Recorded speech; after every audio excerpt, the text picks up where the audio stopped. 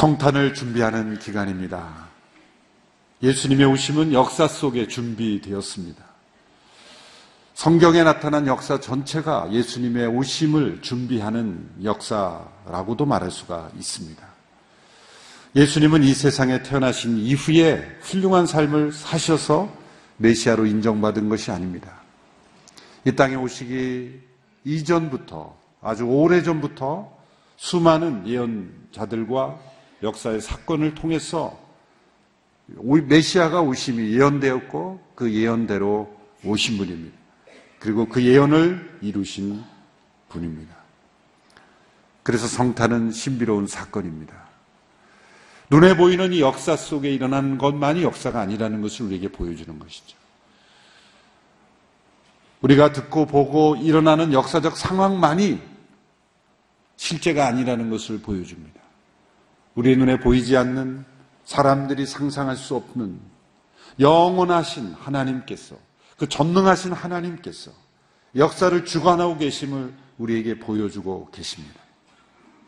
시간을 뛰어넘는 영원, 우리 눈에 보이는 이 공간을 뛰어넘는 하나님의 실제, 그 하나님의 역사심이 역사 속에 뚫고 들어오신 사건, 말씀이 육신이 되신 사건, 시간을 창조하신 분이 시간 속에 들어오신 사건, 우주를 창조하신 분이 우주의 일부가 되시고 연약한 한 아이가 되신 사건.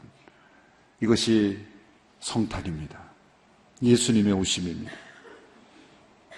그래서 우리는 예수님의 오심을 두렵고 떨림으로, 놀라움으로, 그리고 기쁨으로 맞이해야 하는 것입니다. 교회력으로는 몇 주간의 이 대강절 기간이라 해서 준비하도록 하지만 예수님의 오심을 준비하는 역사 속의 준비는 우리가 상상할 수 없는 하나님의 성실과 하나님의 역사가 있었다는 것을 우리는 기억해야 합니다. 사람들은 미래를 예측하는 것을 좋아하죠.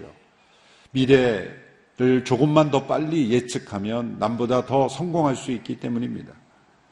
그러나 어떤 미래 예측도 어떤 탁월하다고 하는 미래학자들도 현재의 상황을 기초로 미래를 판단할 뿐입니다.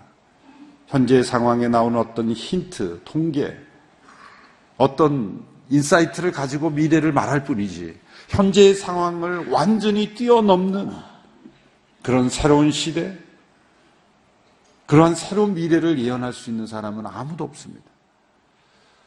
그러나 구약에 나타난 하나님의 미래 예언은 그 역사적 상황을 완전히 뛰어넘는 예언들로 가득 차 있습니다. 특별히 메시아 예언들을 보면 이스라엘 역사의 가장 절망적 상황에서 메시아 예언이 집중되었다는 것을 우리는 주목해야 합니다. 다윗 왕국이 완전히 몰락해 가고 있는 상황, 포로로 잡혀가고 심판을 당하고 죽임을 당하고 역사가 단절된 그 모든 역사적 상황 속에서 장차 오실 메시아에 대한 그리고 그 메시아를 통해 이루어질 희망과 소망과 영원한 생명의 나라를 이어나고 계시다는 것이죠.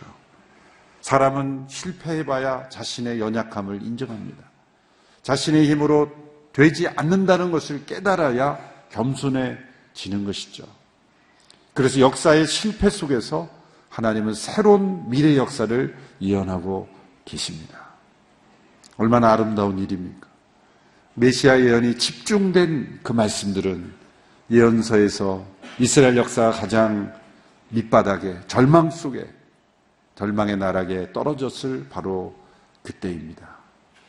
특별히 이사야 선지자를 통해 이 메시아 예언이 집중적으로 주어졌죠. 두 주 전에 우리는 이사야 7장의 말씀을 통해서 처녀의 아들로 동정녀에게서 잉태되는 아기로 오셔서 임마누엘이라 하리라 메시아의 내연을 들었습니다.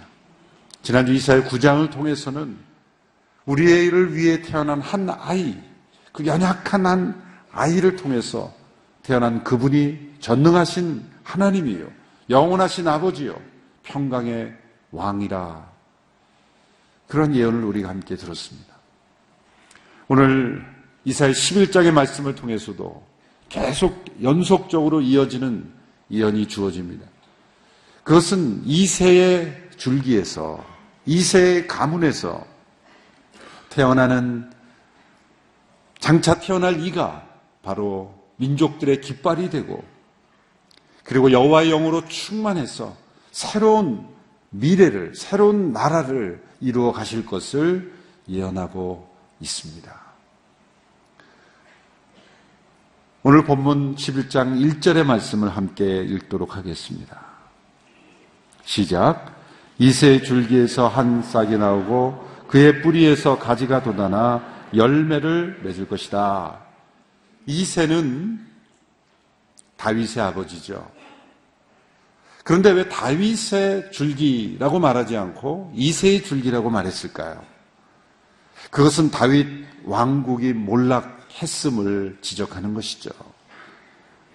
찬란했던 다윗 왕국이 몰락해 가고 있습니다. 이세는 다윗의 아버지는 그저 베들레헴의 평범한 양치는 목동이었을 뿐입니다. 메시아의 우심은 다윗 왕국의 찬란한 다윗처럼 알려진 영웅으로의 출생이 아니라 아무도 주목하지 않는 당시의 이세를 아무도 주목하지 않았듯이 아무도 주목하지 않는 상황에서 희천한 모습으로 메시아가 오실 것임을 말씀하고 있습니다. 여기서 이세의 줄기라고 할 때 이 줄기는 원어를 통해 보면 구루턱입니다. 구루턱. 그러니까 번역이 조금 변화될 필요가 있어요. 구루터기는 그 나무의 몸통마저 다 잘려나가고 중요한 몸통, 가지, 줄기 다 잘려나가고 남은 것입니다. 몸통과 가지가 다 잘려나간 나무를 보면서 어떤 생각이 듭니까? 그것은 마치 이스라엘의 역사가 멸망 가운데 처해 있다는 것. 이제 몸통마다 다 잘려나간 그러한 나무의 그 처참한 모습을 너무나 상징적으로 잘 보여주는 모습이죠. 그런데 놀라운 일이 예언되고 있습니다. 그 구루터기에서 보통 일반적인 정상적인 나무라고 한다면 구루터기에서 몸통이 자라나고 거기서 줄기와 가지가 자라나서 열매가 맺어지는 것이 일반적인 자연적인 나무입니다. 그런데 1절에서 예언되고 있는 모습은 무엇입니까? 그 그루터기에서 싹이 나는 거죠. 일반적인 나무가 아닙니다. 원래 이 싹은 그루터기에서 자라난 몸통, 몸통에서 나는 가지와 줄기에서 싹이 나야 되는 것인데, 그루터기에서 한 싹이 난다. 또 줄기에서 열매가 맺힌다. 일반적이지 않는 나무의 모습입니다. 하나님의 새로운 창조의 역사가 모든 것을 다 잃어버린 듯한 그 구루터기에서 새로운 생명의 싹이 나고 새로운 줄기에서 열매가 맺어질 것이다. 놀라운 하나님의 새 창조의 역사가 펼쳐질 것이라는 거예요. 우리는 몸통까지 잘려나간 나무를 보면서 이제는 소망이 없다. 우리는 절망이다 말할 수 있겠지만 하나님께서는 그 구루터기에 있는 그 뿌리로부터 직접 싹스를 내게 하고 가지를 내게 하심으로써 새로운 열매를 맺게 하시는 하나님. 하나님은 전능하신 분이십니다. 새로운 역사를 만드시는 하나님이십니다. 우리는 역사적 상황만을 볼 수밖에 없어요. 역사적 상황을 보면, 보이는 상황을 보면 암울하고 절망적이고, 뉴스를 보면 항상 경제는 어려울 것이라 말하고, 저도 인생을 오래 살지는 않았지만 지금까지 들어보면 뉴스에서 좋은 소식 들어본 적은 한 번도 없어요. 항상 경제, 내년 경제는 어려울 거래요. 여러분, 들리는 거대로 믿지 않고 살 수 있게 되기를 바랍니다. 유념은 해야죠. 그렇지만 하나님의 역사는 언제나 역사적 상황을 뛰어넘는 거예요. 구루터기에서 한 싹을 나게 할 수 있다면 아무리 어려운 역사적 상황 속에서도 새로운 역사는 펼쳐질 수 있다. 그런 믿음의 눈을 가질 수 있게 되기를 바랍니다. 이 한 가지 모습만 해도 얼마나 희망을 주는 모습입니까? 그루터기에서 한 싹이 나고 가지에서 열매가 맺혀질 것이다. 어쩌면 당시에 이 예언을 들었던 이스라엘 백성들도 믿지 못했을 거예요. 믿지 못했을 거예요. 받아들이기 어려웠을 겁니다. 어떻게 이런 일이 있을 수 있는 것인가? 왜냐하면 우리는 언제나 미래를 생각할 때 현실을 기초로 생각하기 때문이에요. 그러나 하나님께서 주시는 미래는 우리의 현실의 상황을 뛰어넘는 하나님의 새로운 생명의 역사입니다. 우리는 이 현실에 이끌려가는 인생이 아니라 새로운 현실을 만들어내는 창조자들이 되어야 합니다.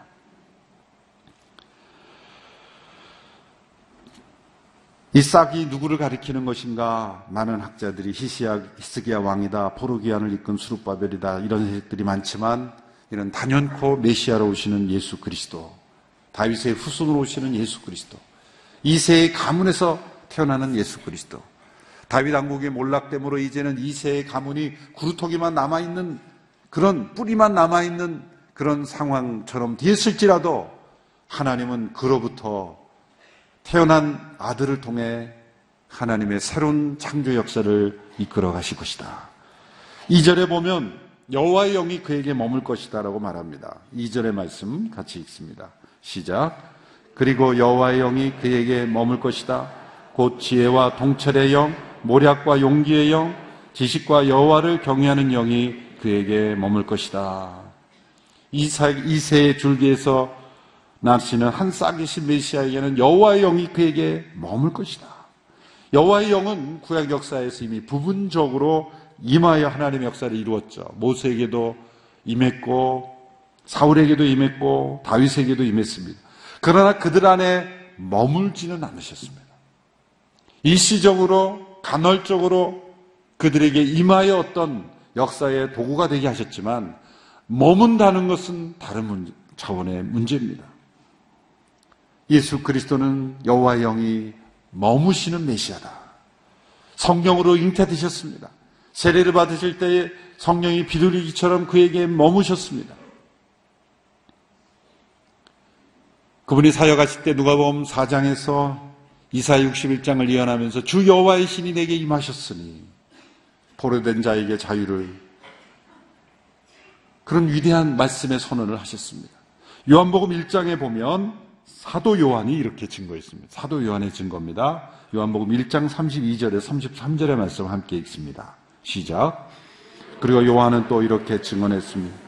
나는 성령이 하늘에서 비둘기 같이 내려와 그분 위에 머무는 것을 보았습니다. 나도 이분이 그분인 줄 알지 못했습니다. 그러나 물로 세례를 주라고 나를 보내신 분이 어떤 사람에게 성령이 내려와 머무는 것을 내가 보게 되면 그가 바로 성령으로 세례를 줄 분임을 알라고 주셨습니다. 성령이 하늘에서 비둘기 같이 내려와 그분이 머무는 것을 보았다. 그리고 하나님께서 세례 요한에게 이렇게 계시하신 거예요. 어떤 사람이 성령이 내려와 머무는 것을 보게 되면 그분이 바로 성령으로 세례를 주는 분이다. 성령이 머무신 그 메시아는 성령으로 또한 세례를 주시는 분으로 오시는 분입니다. 그 메시아에게 임하시는 여호와의 영이 세 가지로 소개돼요. 첫 번째는 지혜와 통찰의 영입니다. 지혜란 무엇입니까? 그것은 바른 것을 분별하는 것입니다. 바른 때에 바른 것을 바른 길로 행하는 것을 분별하는 것. 그것이 지혜와 통찰입니다. 또한 모략과 용기의 영이라고 말했습니다. 바른 것을 분별했을지라도, 바른 선택을 했을지라도 그것을 계속해서 추진하고 견고하게 그것을 이루기 위해서는 용기가 필요한 거예요. 지혜와 통찰이 있어도 만일 용기가 없다면 그 뜻을 이룰 수가 없겠죠. 예수님은 성령으로 말미암아 용기가 충만한 용기의 영이셨어요. 그래서 헤롯이 그를 죽이려고 해도 나는 나의 갈 길을 가야 하리라. 예수님 주변에 바리새인들이 새로시 그를 죽이려고 한다고 음모를 꾸미고 있다고 또 다른 바리새인들이 죽이려고 한다고 해도 예수님은 오늘과 내일 나는 갈 길을 가리라. 십자가의 죽음을 향하여 용기 있게 걸어가셨죠. 이 용기의 영으로 충만하셨습니다. 세 번째로 지식과 여호와를 경외하는 영이 충만하셨다. 성령의 충만함은 여호와를 경외하는 영입니다. 예수님은 언제나 아버지의 뜻대로 행하기를 원하셨고 아버지께 영광을 올려드리셨고 아버지 이름이 높아지기를 원하셨습니다. 여호와를 경유하는 영이 그에게 머무신 거예요. 여러분 이 성령의 예, 여호와의 영이 머무시는 메시아의 세 가지 특징을 보면 우리가 성령 충만을 받을 때 사모하는 내용과 조금 차이가 있죠. 우리가 이런 여호와의 영으로 충만해지기를 기도해야 돼요. 어떤 기적, 표적도 중요합니다. 그것도 중요한 하나님의 은사고 어떤 역사입니다. 그런데 여호와의 영은 지혜의 영이요, 용기의 영이요, 그리고 여호와를 경외하는 영입니다. 예수님에게서 이 예언이 이루어졌죠. 그분은 여호와의 영으로 충만한 분이셨습니다. 성령이 그에게 머무시는 분이요, 또 성령으로 사람들에게 세례를 주셔서 예수님과 같은 그런 여호와의 영으로 충만한 자들을 변화시키시는 분입니다. 예수님 홀로만 여호와의 영으로 머무시는 분이 아니라 그분은 예수님과 하나님을 증거하는 사람들, 그 증인들에게 이 성령으로 세례를 주셔서 그들로 하여금 예수님처럼 살아갈 수 있게, 예수님처럼 여호와의 영으로 충만할 수 있게 변화시키는 분이시다는 거예요. 이런 여호와의 영이 머무시는 이분에게서 나타나는 세상의 모습이 어떤가? 그분의 통치로 인하여 나타나는 그러한 사람들과 환경의 변화가 어떤 변화가 일어나는가를 3절 이하에서 말씀하고 있습니다. 3절에서 5절의 말씀을 같이 읽겠습니다. 시작. 그는 여호와를 즐겨 경외하고 눈에 보이는 대로 판결하지 않고 귀에 들리는 대로 결정하지 않을 것이다. 오히려 그는 약한 사람들을 공의로 판결하고 세상에서 학대받는 사람들을 위해 정직하게 결정을 내릴 것이다. 그는 그 입에 몽둥이로 세상을 치고 그 입술의 바람으로 죄를 범한 사람들을 죽일 것이다. 그는 정의로 그의 허리띠를 띠고 신실함으로 그의 몸띠를 삼을 것이다. 여호와의 영으로 충만하신 메시아는 눈에 보이는 대로 결정하지 않고 들리는 대로 판단하지 않는다. 너무 중요한 말씀입니다. 우리 성도님들 가운데 사회에서 많은 결정을 해야 하는 어떤 지도자의 역할을 감당하실 수 있습니다. 또는 가정의 일들도 무엇인가를 결정해야 될 때 보이는 대로 들리는 대로 판단하지 않는 그런 영적인 지혜와 그런 용기와 여호와를 경외하는 지식이 충만해야 되는 거예요. 보이는 대로 들리는 대로 이끌려가지 않는 거예요. 보이는 대로 들리는 대로 판단하면 세상에 끌려가고 상황에 이끌려갈 수밖에 없습니다. 보이지 않는 것을 볼 수 있어야 되고 들리지 않는 것을 들을 수 있어야 된다. 그것이 예수님의 능력이었어요. 예수님에게만 허락된 것이 아니라 여호와의 영으로 충만함을 받은 사람들에게 또한 허락된 축복입니다. 주여 세상에 보이는 대로 보지 않게 하옵소서. 들리는 대로 듣지 않고 그것을 뛰어넘어 보이지 않는 것, 들리지 않는 것을 볼 수 있는 영적인 지혜와 용기와 지식을 허락해 주시옵소서. 성령의 사람들은 다릅니다. 바로 여 예수님의 모습이 그러했습니다. 그분의 통치하심은 세 가지 중요한 통치 원리가 있죠. 첫째는 공의요, 두 번째는 정직이요, 신실함입니다. 공의와 정직, 신실함, 이것은 한마디로 말하면 절대적 공정성이죠. 하나님께서 공의로우신 분이기에 흔들리지 않는 거예요. 좌로나 우로나 치우치지 않는 거예요. 이 세상에서는 치우치는 어떤 면이 있죠. 힘있고 강하고 그리고 능력이 있는 사람에게 치우칠 가능성이 많습니다. 그러나 절대적인 공정성을 가지면 약하고 힘없는 사람에게 그들이 더 피해받지 않도록 보호해 주는 거예요. 그러나 이 말씀을 가만히 보면 여기에 보면 약한 사람들, 학대받는 사람들을 정직하게 결정을 내린다. 정직한 결정, 공의로운 판결, 이것이 메시아가 오심으로 이루어지는 그런 통치입니다. 또한 그 입에 몽둥이로 세상을 치고 그 입술에 바람으로 죄를 범한 사람들을 죽일 것이다. 정의로 그의 허리띠를 띠고 신실함으로 그의 몸띠를 삼을 것이다. 세상의 통치자는 그 띠가 뭡니까? 부귀와 영화로 권력으로 띠를 띌 모습이지만 예수님은 정의와 신실함으로 그 띠를 띠고 세상을 통치한다. 사실 인간 리더십의 통치에서는 이러한 완벽한 공의와 정직과 신실함을 기대하기 사실 어렵죠. 다윗 왕조가 몰락한 이유도 다윗도 사실 번영과 번영 평안 속에서 이러한 성품들이 점차 소멸되어 갔기 때문이 아니겠습니까? 다윗 왕조가 이렇게 몰락한 상황에서 메시아의 통치는 인간적인 지상의 통치자들과 완전히 구별된 그런 통치를 보여주고 있습니다. 그것은 메시아이신 예수 그리스도께서 온전히 다스리시는 그런 영원한 나라의 모습입니다. 그러나 이것이 먼 미래에 예수님이 다시 오실 그때에만 우리가 경험할 수 있는 것이다. 그렇게 포기해서는 안 되는 거예요. 예수 그리스도의 몸인 교회, 또 그분의 영으로 충만한 이들이 다스리는, 통치하는 그러한 세상에서는 이러한 모습들이 부분적으로 실현될 수 있다고 믿어야 됩니다. 그것을 기도해야 되는 거예요. 이것은 예수님이 다시 오셔 이루어지는 것이라고 이렇게 차치하고 상관없다. 이 세상은 상관없는 것이다. 라고 말하지 아니하고 여호의 영으로 충만한 이들에 의하여 다스려지는 세상에서는 이러한 모습들이 나타날 수 있다. 부분적이지만 온전하진 않지만 이러한 모습들이 나타날 수 있다고 우리는 믿어야 합니다. 6절 이하에 보면은 이런 메시아의 통치를 통해서 이루어지는 세상의 놀라운 변화를 예고합니다. 메시아의 통치는 단지 사람들의 질서를 바로잡는 데 국한하지 않습니다. 그분의 통치는 온 우주적인 변화를 가져옵니다. 6절에서 8절의 말씀을 같이 읽어보겠습니다. 시작. 늑대가 어린 양과 함께 살고 표범이 어린 새끼 염소와 함께 누우며 송아지와 어린 사자와 살찐 짐승이 함께 있는데 어린아이가 그들을 이끌고 다닐 것이다.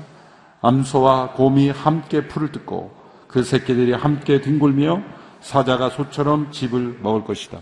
젖먹이가 독사의 구멍 곁에서 장난하고 어린아이가 뱀의 굴에 손을 넣을 것이다. 얼마나 놀라운 모습입니까? 메시아가 오심으로써 이 피조된 세계의 완전한 회복이 이루어질 것을 보여줍니다. 메시아가 이루는 것은 우주적인 구속입니다.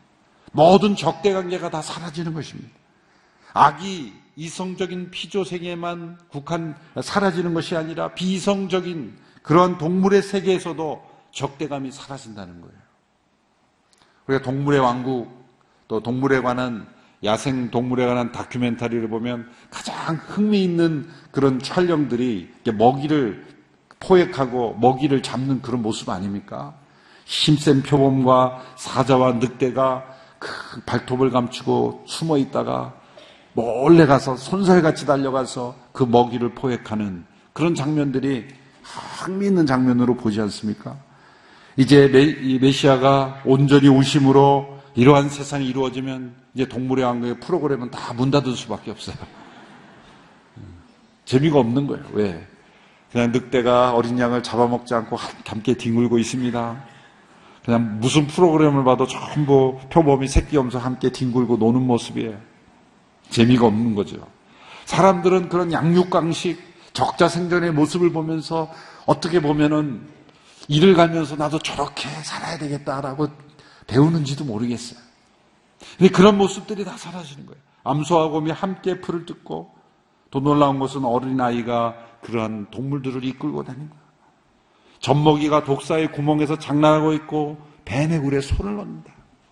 세상에 가장 위험한 두렵고 공포를 가져다 주는 그런 모든 적대 관계가 다 사라지는 완전한 샬롬 평화의 관계가 이루어진다. 많은 사람들이 이것은 그냥 상징적인 것 아니냐. 평화가 온다는 것을 이런 모습으로 상징화하는 것이 아니야. 그러나 그렇게 볼 수 없습니다. 저는 이것을 문자적으로 이루어지는 세상이 오는 것이다. 예수님 다시 오실 때 새하늘과 새 땅의 모습은 바로 이 완전한 샬롬, 인간과 인간 사이의 평화만이 아니라 피조 세계와의 평화까지 이루어지는 하나님께서 원래 창조하신 죄가 없었을 때의 피조의 세계는 이런 천적의 관계, 양육 강식의 사회가 아니었죠. 하나님께서 원래 창조하신 세계, 창세기 1장 29, 3절에 보면 하나님께서 주신 양식은 원래 풀입니다. 창세기 1장 29, 30절에 보면 하나님께서 말씀하시기를 내가 땅 위에 씨 맺는 온갖 식물과 씨 가진 열매를 맺는 온갖 나무를 너에게 주니 이것이 너희가 먹을 양식이 될 것이다. 그리고 땅의 모든 짐승과 공중의 모든 새와 땅의 모든 기는, 기는 모든 것들, 그 생명 있는 모든 것들에게는 내가 온갖 무엇을? 푸른 풀을 먹이로 준다 하시니 그대로 됐습니다. 그러니까 타락 이전에 사람뿐만이 아니라 모든 짐승, 새, 땅에 있는 모든 것들에게 주어진 양식은 풀이었어요. 그러니까 채식이었다는 거죠. 언제 육식이 들어왔습니까? 노아 홍수 이후에 창세기 9장에 보면 무릇 산동물은 너희의 식물이 될지다. 채소같이 내가 이것을 너희에게 주노라. 노아의 홍수 심판 이후에 육식이 허용된 거예요.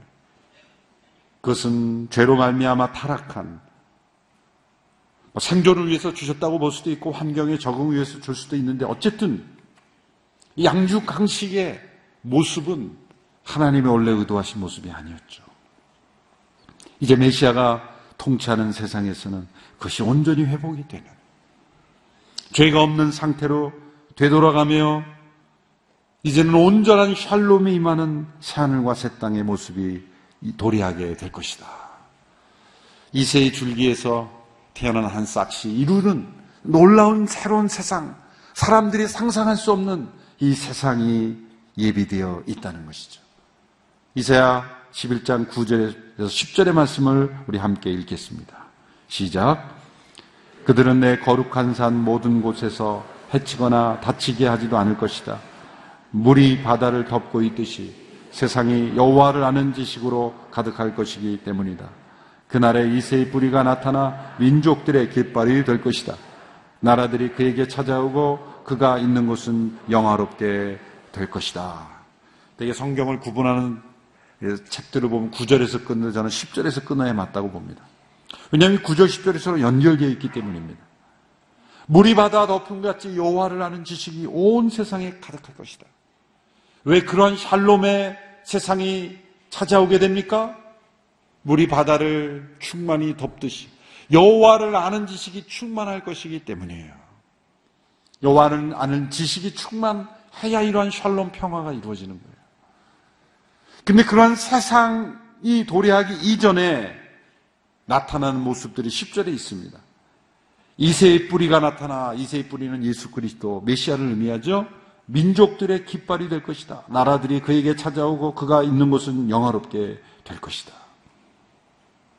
물이 바다 덮음 같이 여호와라는 지식이 온 세상에 충만해지는 그때가 올 때인데 사실 그 이전에 이루어지는 선교의 역사, 선교의 모습들이 있는 겁니다. 그것은 이세 뿌리에서 오신 예수님이 민족들의 깃발이 될 것이다. 그 깃발을 보고 민족들이 모여들게 될 거라는 거예요. 저 깃발을 따르는 것이 살 것이다.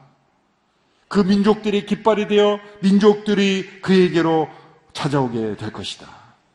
모세가 광야에서 노뱀을 들었을 때 백성들이 그걸 보고 살았듯이 예수님이 십자가에서 내가 들리면 모든 사람들이 내게로 이끌어질 것이다 말씀하셨어요. 바로 이 예언이 이루어진 것입니다. 무너진 다윗 왕조의 구루터기에서요.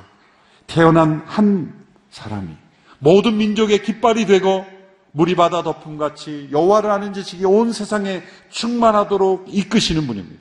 그분은 여호와의 영으로 충만하신 분이요. 우리에게 그분의 성령을 부어 주시는 분이십니다.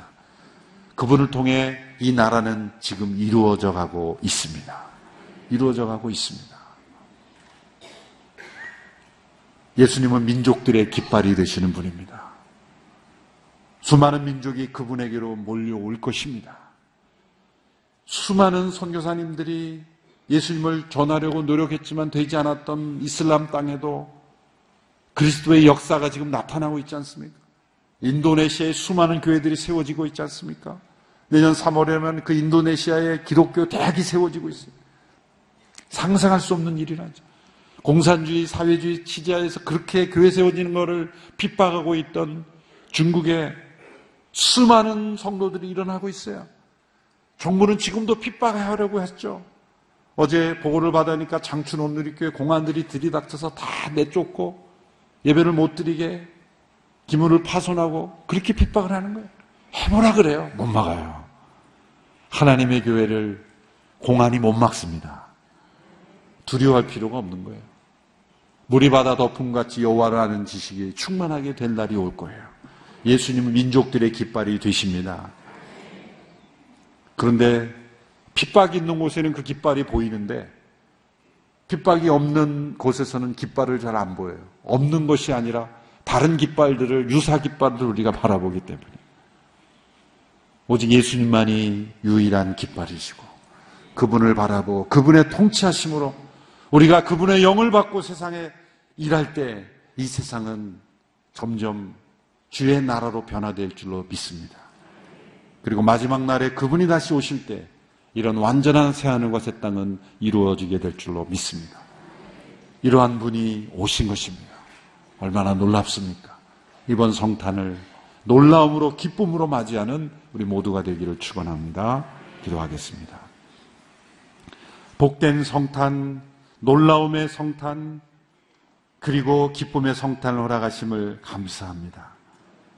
예언을 통해 오신 주님, 이세의 줄기에서 태어난 싹이신 주님, 그러나 그분의 성, 성령으로 충만하심으로 이 땅에 참된 평화를 이루시며 공의와 정직과 신실함으로 통치하시는 나라를 이루신 줄로 믿습니다.